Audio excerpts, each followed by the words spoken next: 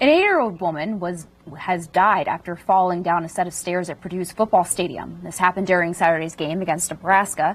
Officials say the woman is Donna Steenbarger. They say she hit her head during the fall. She was then taken to a hospital where she died yesterday. Officials are reviewing her medical records to decide if an autopsy will be conducted.